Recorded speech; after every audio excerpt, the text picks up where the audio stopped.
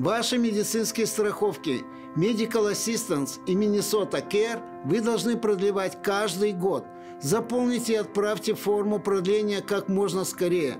К вашим услугам бесплатная индивидуальная помощь на русском языке.